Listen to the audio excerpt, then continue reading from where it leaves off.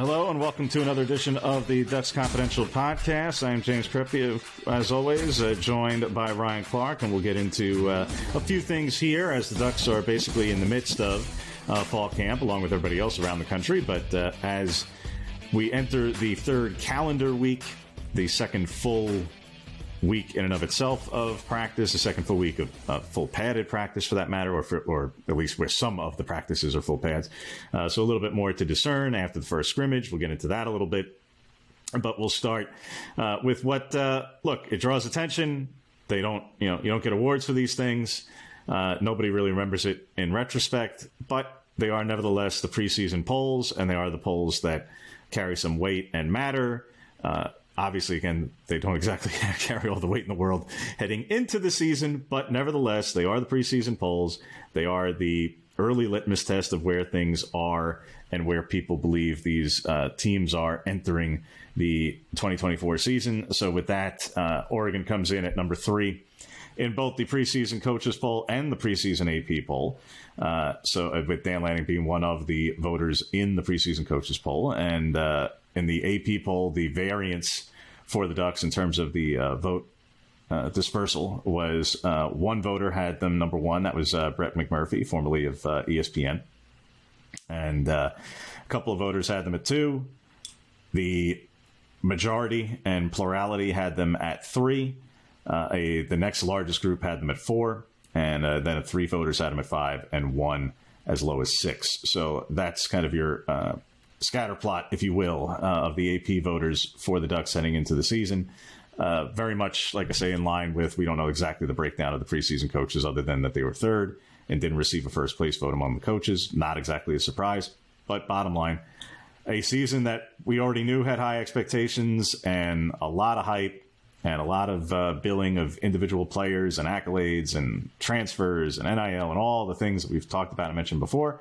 Uh, very much uh, living up to that in terms of perception from uh, the preseason coaches poll and AP poll, where, like I say, they come in as high as they've been in uh, either going back to 2014 or 2013, depending on which poll we're, we're talking about. So, therefore, uh, yeah, for for the program uh, that is moving into the Big Ten, that uh, as we all know has had quite a quarter century or so of uh, success, still has not broken through to that highest of levels in terms of winning a championship, but uh, right there with the likes of Georgia, who's number one in both polls, Ohio State, which is number two in both polls. Obviously, it's setting up for, uh, as we all knew, a epic matchup on October 12th. That will be the focus, uh, regardless of what happens for both Oregon and Ohio State between now and then. Uh, if you look at the schedules for both teams, it would be hard to assume a loss for either one of them heading into that game. So that could and should be one of the biggest games of the entire season.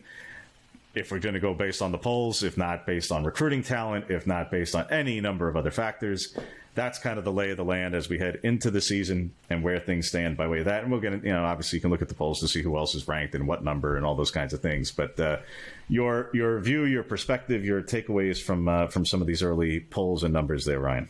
Yeah, I, I think that it's uh, proof positive that you know this this Oregon team is is in the view of, of experts, in the view of coaches, uh, absolutely among the the national championship contenders this year. You think about the last twenty years uh, of the national champions pretty much all of them have come out of the preseason top seven.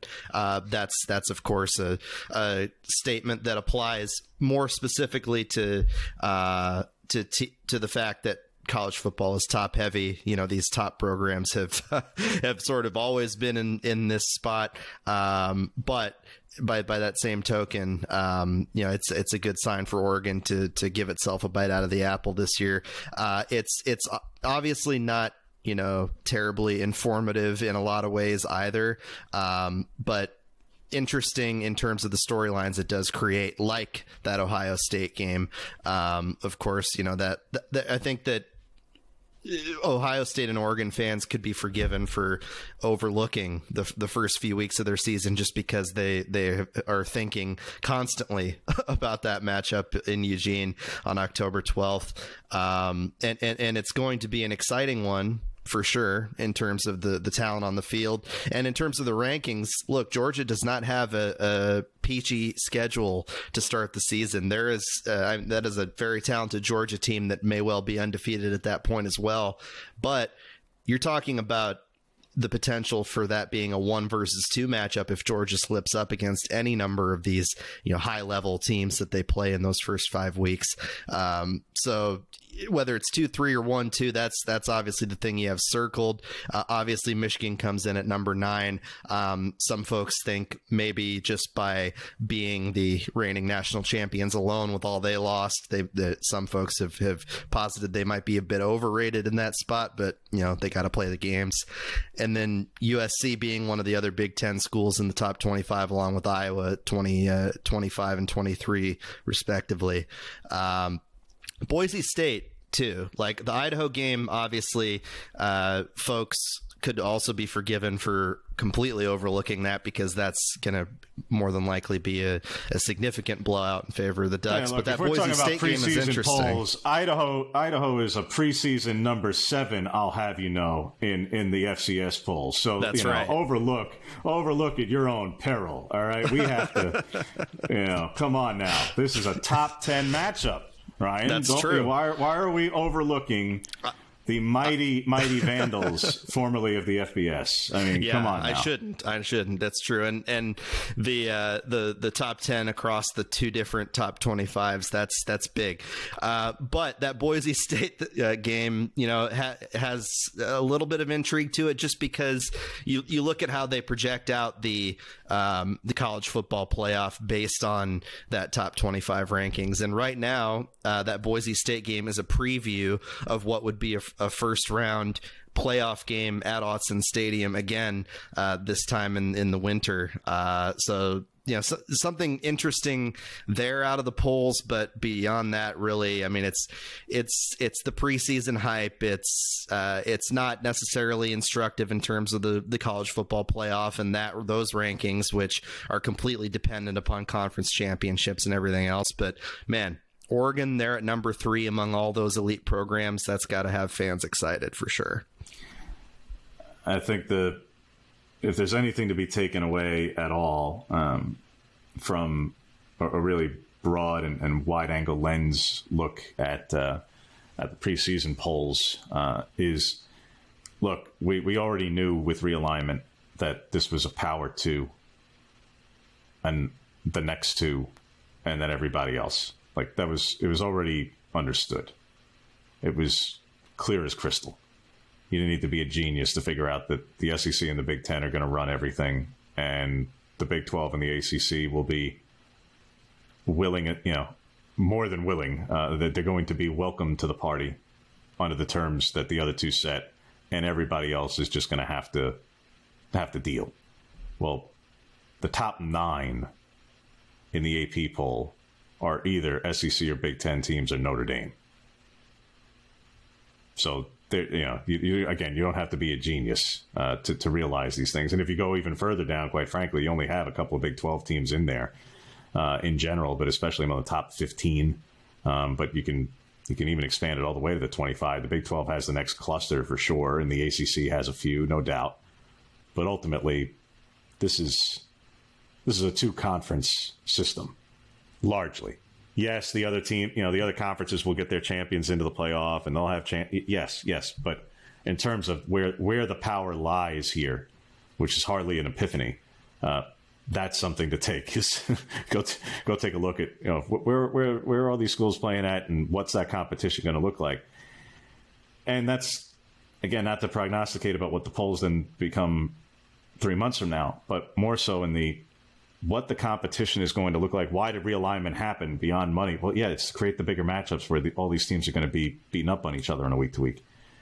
Which is also to say that I'm not saying it's going to happen this year, but in the not too distant future, you are absolutely going to have a Big Ten or SEC three loss, maybe even four loss team make the playoff.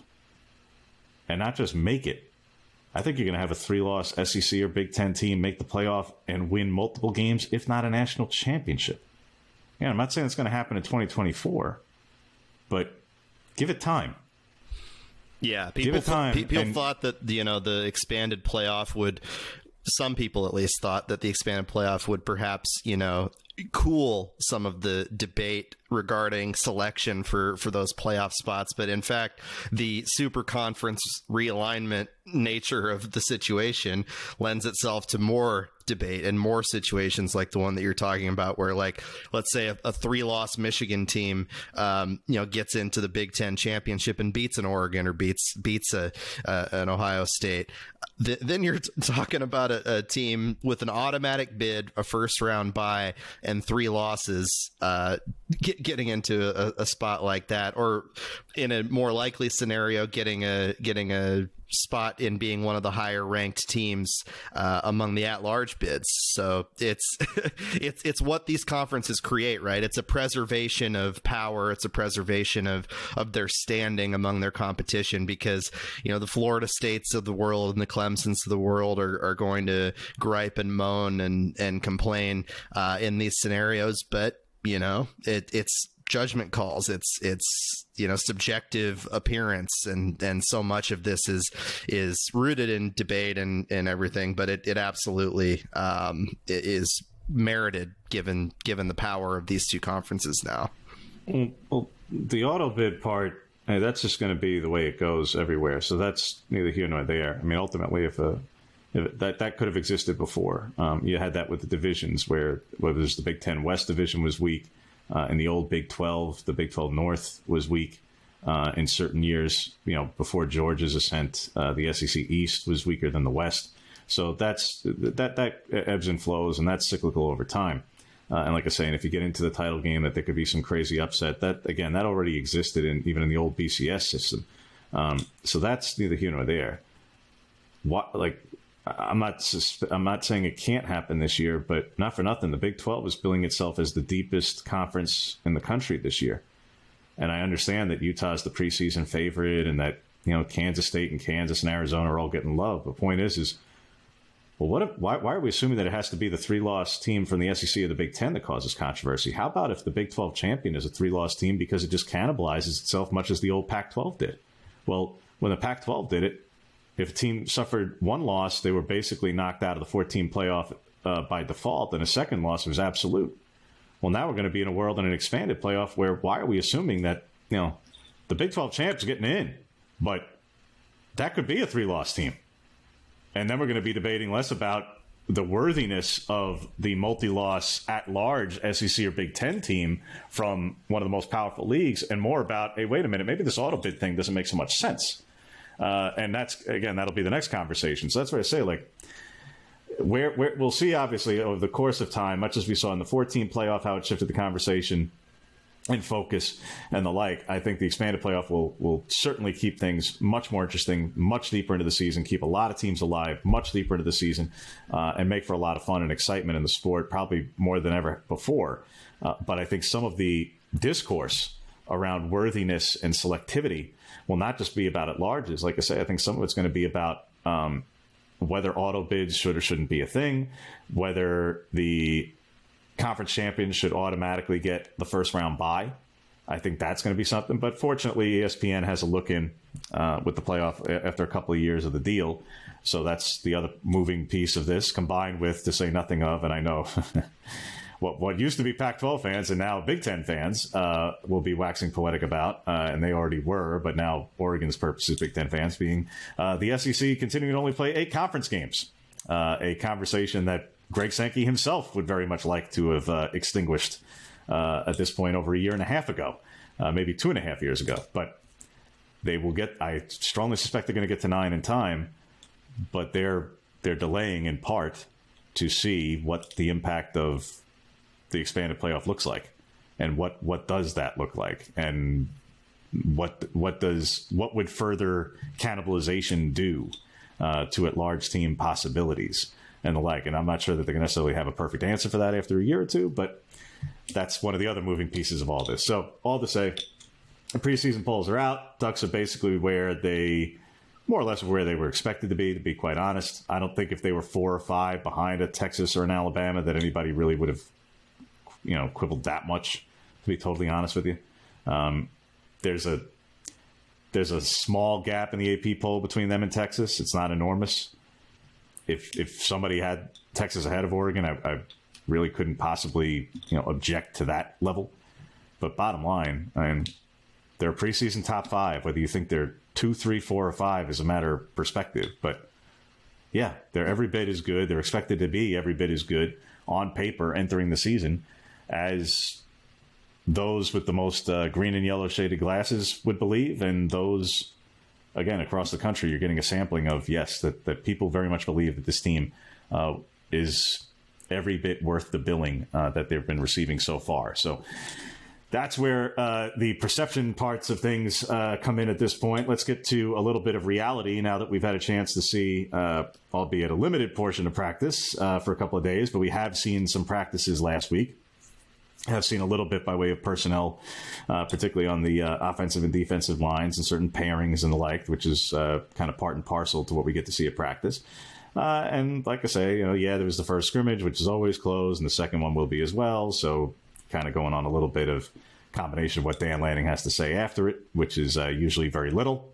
Uh, combined with photos and videos that manage to come out, including from within the program itself, that you're able to discern a little bit by way of uh, uh, further verification of what Lanning has had to say or expounding on what he's had to say and the like. So yeah, or the latest episode of uh, of Team Out West. That's yeah, yeah I'm sure that'll be another I'm sure that will be illuminating uh, here whenever that comes along. I'm sure that will be a, a full breakdown of any number of things uh, from from camp as well. But bottom line being, uh, from what we've seen and gleaned so far, and, and from kind of just a little bit of conjecture that I've that I've heard a little bit sounds like when it's ones on ones uh, that there is a lot of legitimate just back and forth. That there is not, you would not say that, and it's not happening all the time for those who are not uh, deep in the weeds of these things. When when starters are going against starters, pretty much anywhere, especially in a camp setting where they're not scheming each other up, and where they know each other's. The defense knows the offense's cadence. The offense knows the defensive playbook pretty well here. And you're not really trying to quote unquote beat each other in that way. Uh, that from what I've been gathering and from what I've been gleaning uh, and from some of the things I've been hearing, that it's not as though one side is truly dominating the other. If anything, I've been hearing a little bit that the defense has been performing awfully good. That doesn't mean that there's uh, an outlandish number of turnovers or something. It means that, yeah, that quite simply that the offense is having it is not having its way with the defense, uh, which for those who want to see the defense improve, you're going to love hearing that. Uh, for those who want to say that the offense should be was just one of the top offenses in the country last year, and now expects even more with uh, with Gabriel and more weapons. Uh, then then what's the problem? Well, again, you can you can always find something to be uh, uh aggrieved about, I suppose. Yeah, but and folks can line, really get into the weeds with that stuff too. Like offense is always behind defense and development in preseason. That's any any coach in the country would tell you that. And and on top of that, I think that if if I was looking at it like objectively as an Oregon fan, I would be more excited to to see the defense not only competing but winning or in some situations dominating. Like if if that was the case then you know I'd be happy because being a tenacious and consistent and physical and all of the superlatives defense is going to be the difference between them beating a team like an Ohio State or Michigan versus you know just being being exciting with the football. It's it's it's what it always comes down to. But yeah, like pre- preseason and and camp and and development, it always seems, and this is something that has has been reiterated by coaches for years that the offense is just going to be behind the defense regardless too. And from from what Lanning was saying about uh, the first uh, first scrimmage, that uh, basically, that the uh, the offense ended up doing better on uh, on third down. Uh, that uh, there was one turnover. Sa- sounded like reading between the lines sounded like it was an interception. Um, and that we were talking about quarterback decision making, and he alluded to one turnover. So sounds like it might have been in that way. Now it's unclear as to who threw that. That doesn't have to be anybody in particular. That could have been one of the walk-ons. Like you have no idea. Um, there, there's no no reason to make an assumption as to who that might have been. But bottom line, um, and uh, based off uh, some in-house photos, it certainly looks like uh, Jayden Limar scored a rushing touchdown uh, with what looked like at least part of uh, the number one offense uh, out there, based on again in-house photos from from Oregon itself. So, in terms of what could be gleaned and what was connected there, it sounded like there was not a ton by way of explosive plays. Yeah, the defense may have had a turnover. Offense may have done better on third down. and like I say, at least this one rushing score because you know Jayden Limar is being hoisted up by multiple starting offensive linemen. So there you have it. But as to what that all may mean uh, in the week ahead, we'll start to see in this week of practice, uh, we'll start to be able to perhaps glean a little bit more by way of personnel groupings, uh, a little bit more if certain groups start to get pared down a little bit, particularly among the returners, uh, kickoff and, and punt returners, that is, because even Joe Lorig, when we talked to him on Friday, basically said as much of, look, you know, you, you you cast kind of a wide net at first, um, and and you want to see a bunch of guys get opportunities and um, a, a, chance to field and a chance to um, showcase that, that, those skills in particular. And then you know you got to make decisions and pare it down a bit because let's call it what it is. You're not going to have eight or nine guys return kickoffs during the season. I mean that's that's simply not happening. You know you. you have about one on average over the year. I think it was 1.5 or 1.6 kickoff returns per game so, and it's usually done by one player, maybe two. So, yeah, you're not going to have eight or nine guys in the course of the season. Yeah, the running backs and a couple of receivers and a couple of DBs, they have to do something in the first period of practice. So, okay, you let some of the fastest guys go and, and field kickoffs uh, for, for four or five minutes. Sure. But at a certain point, there's not going to be eight or nine of them. There just isn't. Now, historically, we've seen the running backs there before, even though even though hardly any of them actually returned kickoffs during the year until uh, until the postseason when uh, when Bucky Irving managed to uh, get the opportunity to do that.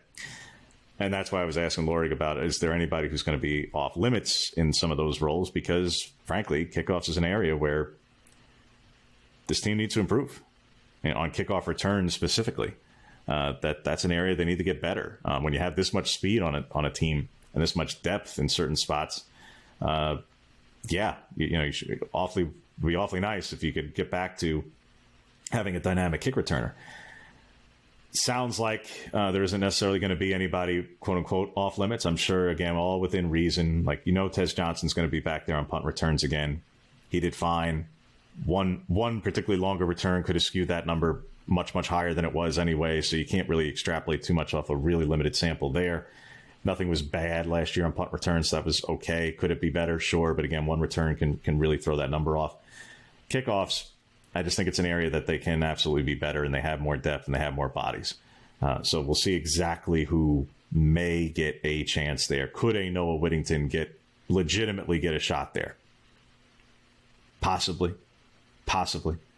Uh, do I think one of the younger speed guys could could Rod Pleasant actually get a shot there? I mean, you can't if if it's supposedly if nobody's off limits and you're not going to rule it out.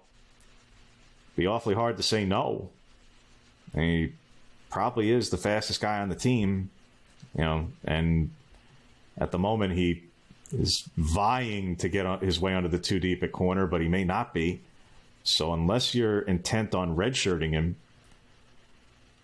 I, you know, I, I, think he's at least worth a look. He's now he's among that very large group of guys working with the kickoff return right now. He's not, you know, the number one guy exactly, but we'll see. And I realize, like, we're talking about a play that ultimately happens, like I say, one and a half times a game on average. So let's not make yeah. more of it than it is. But like that's an area so infrequent, you we, know. Like we do see it, yeah. And, and when it, and when they're dynamic at it, you know, it's, it, it, can change the game, and yeah. that is one. Of yeah, you think back to like De'Anthony Thomas against Kansas State in that Fiesta Bowl. Like those are the memories that come up of, of the Oregon teams of old. So they, they have they have the speed and they have the weapons on this team to you know make that a more dynamic play uh, than it has been the last couple of years. We'll see ultimately who they turn to in that in that realm. Uh, otherwise, frankly, the you know some of the things that we got to look at uh, heading into this week, not just in terms of what gets pared down and the like, is um, one group in particular is the edge rushers. Uh, not just because they're younger, not just you know again that the the whole off season long uh, bit that we could talk about of you know they got a lot a lot of production to replace in the front seven, and the D line got younger, but they brought in the two transfers, and uh, yeah, it's a it's a really sophomore and freshman laden edge group outside of Jordan Burch. absolutely, all those things were already true. Uh, what's changed ever so slightly over the last week is that uh, Emar'rion Winston's been limited. Uh, exactly to what extent in, in the course and throughout practice, we don't know, but uh, we, we, very clearly limited uh, in terms of you know pre, even pre-practice. We're able to make that out very, very, very clearly. And Ashton Porter wasn't out there uh, at the end of last week on either Wednesday or Friday, and, and one would discern that if you're not practicing multiple days during the week, you probably didn't take part in the scrimmage either. So when you knock off two guys off the edge, uh, in particular, two guys who are working uh, at times at the same position, uh, yeah, that becomes a thinner group. Uh, do they still have bodies? Do they still have guys who are you know higher on the depth chart? Absolutely. Uh, you know, Matayo and Teitum in particular. But bottom line, when you're when you're putting off a scrimmage and you're trying to put two teams worth and go two and three deep on those two teams, when you knock two guys off, it becomes a thinner group in a hurry. Uh, so yeah, thankfully they are they are built in such a way like you know where the depth you're talking about with with guys like Matayo being present and and being able to fill those gaps at least in in the confines of practice. We we don't necessarily know too, like you said, um, you know the the extent of the injury for Winston. Um, it's a right leg, I believe, if I if I remember correctly. Um, yeah, he's uh he's he's basically just had a, a sleeve, uh, uh, one of the, one of the many sleeves on, but uh, it's clear that that he's favoring the the right leg. And uh, again, you don't want to make more of it than it is. He's out there, he's practicing. It's just that he's with the guys who are limited, and he's not going through all the uh, early practice uh, um, reps. that some of the other guys are, and that's as much as we know. Whereas Porter, he, he just hadn't been there the last couple of days, so um, that's we don't know exactly what the nature of that situation is either. But uh, it's easy to you know. There's, there's no point in even saying like what exactly it is. No, we don't know, but we do, we know he's not there. Uh, so that's more significant than uh, what Winston is dealing with. What appears to be a, a right leg issue. And we'll see, like I say, a, a, that is a group that we'll be paying attention to uh, over the next week plus, and uh, and for that matter, same thing with the offensive line. Um, you know, again, we we have a, certainly a good feeling as to and a, and a, good idea as to who the starting five will be and where that'll go and all. Yeah, absolutely. Um, and that could be rotating guys still and stuff. Yeah. But what I'm I'm interested to see this week, heading into the beginning of next week, is all right. Like when when do they shift to what was the personnel groups in spring, and even what we've seen early in camp of these split squad kind of deals to you know, it's going to come a point where the ones are going to be going with the ones, period. You know, it's not going to be three starters with one group and two starters with the other group. And same thing on the defensive line. It's not going to be two starters with one group and two starters with the other group. And the linebacking core isn't going to have Boss on one side and Jestin on the other. And no, like I think you started to see that a little bit in the scrimmage. Uh, and I'm curious to see exactly at what point, perhaps this week, uh, we start to see more of that across the board. That the ones are with the ones, the twos are with the twos, the threes are with the three, et cetera, et cetera. And that they they have to start to yes make some personnel decisions uh, because the season is rapidly approaching, uh, and not that you have to be. not to look past uh, number seven in the FCS Idaho, but you do have to sooner or later uh, fill out a depth chart, uh, fill out a plan, and come up with some ideas for for personnel. And I have no doubt that uh, a very, very significant number of players uh, will be taking part and participating in uh, the season opener. Uh, I believe going back to last year's game uh, and one of the notes I took there, I think it was right around 80. I want to say it was approximately 80 uh, players took part uh, in last year's game with Portland State. So, read into that what you will in terms of what could potentially, what could potentially, who could all potentially be playing in the four game redshirt uh, rule era combined with the expanded playoff era, I think you're going to see a uh, a very very deep use of personnel uh, on on August 31st and that's fun honestly. Like d- beyond the the team like destroying its opponent and you, you see a lot of touchdowns and yada yada.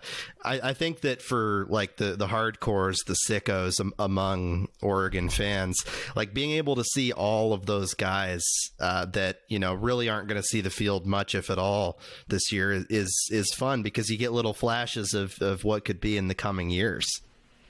Hey you know you don't have to you don't have to say it's just among the sickos among the fan base. They, believe me, go back a couple of years ago, and some of us who were tracking who who the traveling second long snapper was, so that when the day came that Carson Battles was no longer the starter, who it would be. And uh, believe you me, we were taking note back in 21 that Luke Basso was indeed uh, the next guy and uh, the heir apparent. And lo and behold, wouldn't you know it? There he uh, is. Yes, the, the yeah. starter all of last year and, and, again this year. So, yes, there will be, I have no doubt, uh, many of the, the uh, scouting and the like for every position, including, yes, special teams. It's, we can joke a little bit, but but no, with the amount of depth that they have at certain positions, particularly at the skilled positions, uh, receiver and corner in particular, uh, I think a lot of freshmen will get an opportunity, uh, obviously in that first game. But that said, it, the second game, like you mentioned, Ryan goes uh, and ratchets up significantly. Uh, it might be, frankly, the most competitive of the three non-conference games, and not just of the non-conference. I think the Boise State game could be.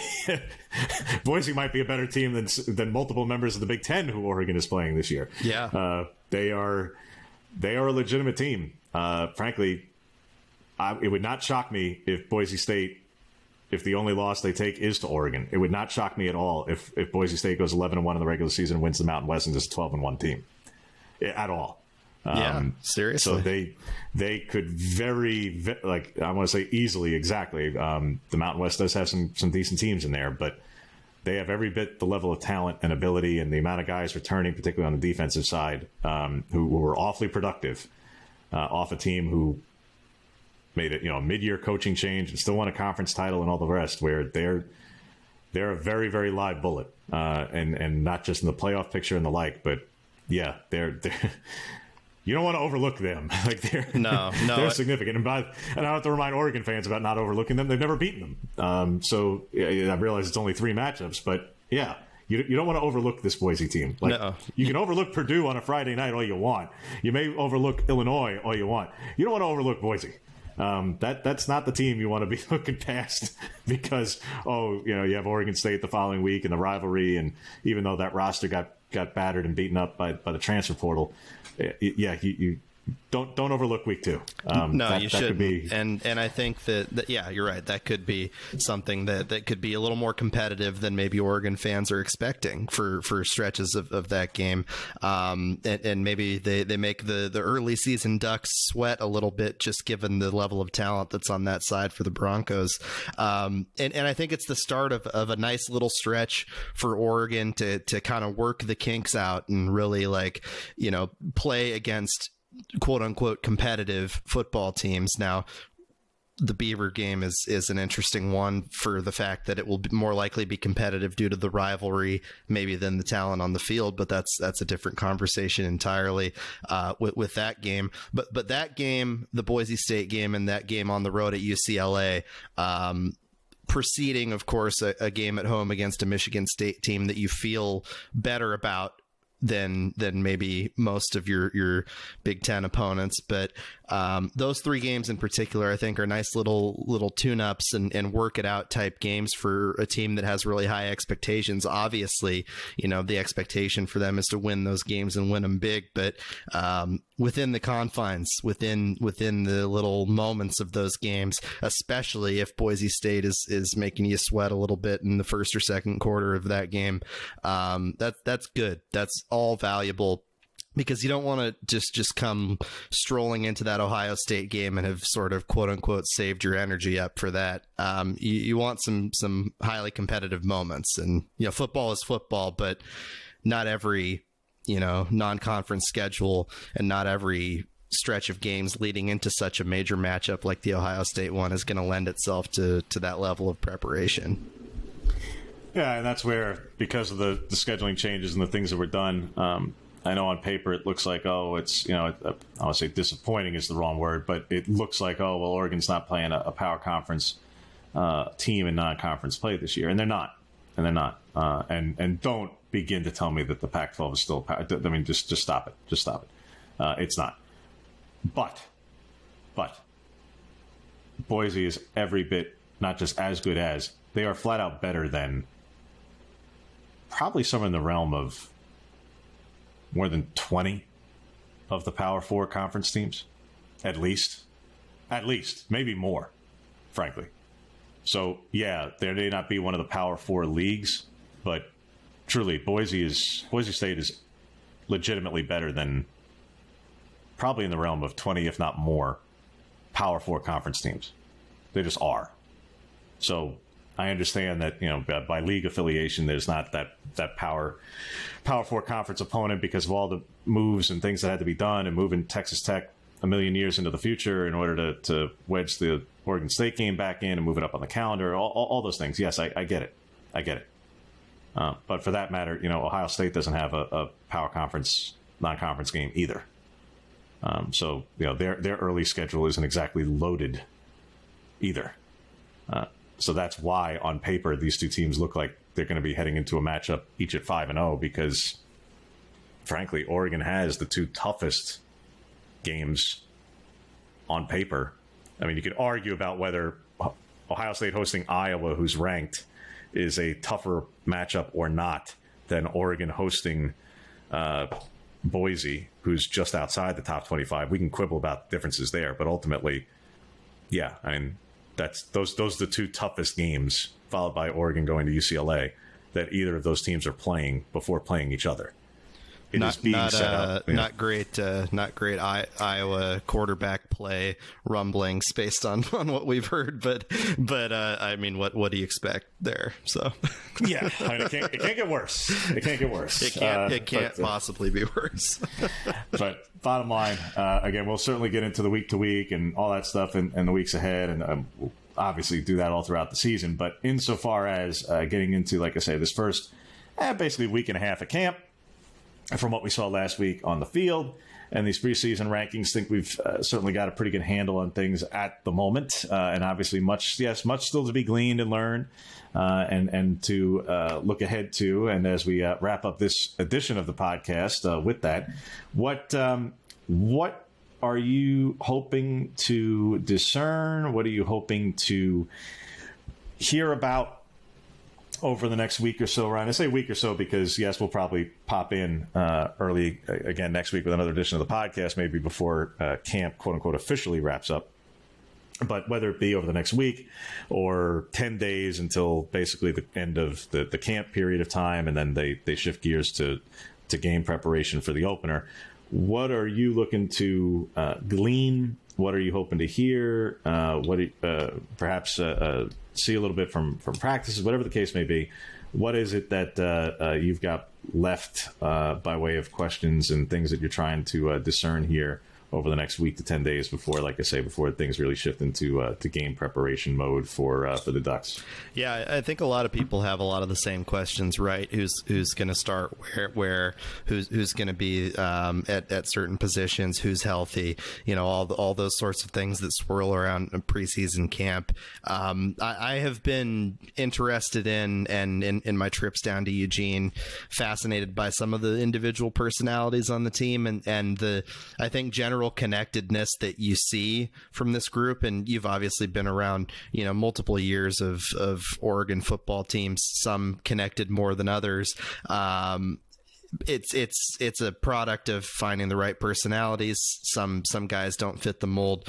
It is what it is. But I, I, think that you know you look around, you you listen to the guys talk to each other, um, you, you, get a general feel for what these practices are like, uh, and, and, there is a sense of of genuine connectedness already from the group. I think that's a, a foundation that was set in the spring, um, and and you know all the different team building activities that that whether the coaches you know were the ones that that started it or uh, the the players did it on their own. For example, like what has been talked about ad nauseum with Dillon Gabriel piling all the wide receivers into his van. Um, you know, th- there is a, a, a, sense of that, despite you know the the expectation setting and and the football jargon and the the outside noise and the the sometimes you know not terribly intuitive or you know informational conversations that, that you might have with coaches because they're trying to keep things close to the vest. Um, you do get a sense that that this is a group that isn't just talented on the field but um, you know ha- has a, a, level of, of connectedness that if they maintain it, you know, if they they are able to to keep the focus through the season and uh, execute on the field, that uh, that it, it could be something special. I'm I'm excited to just talk to people and just to to get to know the individual personalities on the team as the season goes along. There will be plenty of room for for you and me and, and everybody else that covers this team um, for the Oregonian to to get into the analysis and the conjecture and um, week to week go through our power rankings and answer mailbag questions and everything else. Um, but those personalities are, are, what are standing out to me and what I, I hope to continue to to dive into in the coming weeks. And uh, with that, like I say, we'll certainly be uh, be talking to more players and, and coaches in the uh, week and a half plus ahead as they wrap up camp, and then obviously uh, shift gears to the start of the 2024 season, uh, which, uh, yes, believe it or not, less than three weeks away, rapidly approaching on the 31st with with Idaho, and then yes, Boise State setting up in week two, Oregon State the week after.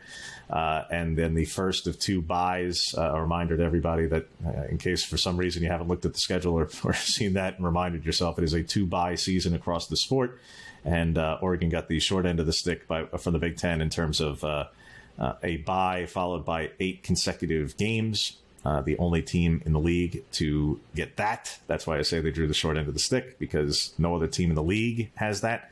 and their second bye is the week before Washington for that matter, Washington's second bye is also that week, uh, but their first bye week is uh, is at a different time, be that as it may. So uh, much to get into, obviously, like I say, on a week to week basis, but we will certainly uh, chat with you again next week, go over more of what we got by way of uh, this week at camp, and hear from some more members of the coaching staff, some more players. Uh, and where things look as the Ducks begin to prepare and shift their gears towards uh, actual season preparation and the like. But with that, uh, I am James Crepea. Here's Ryan Clarke, and we will see you next week here on the Ducks Confidential podcast. Reminder: make sure to like, subscribe, five star review, all those things, so that way more people can uh, find us, listen to us, and the like, uh, and it will pop into your feed accordingly. And we will see you next week.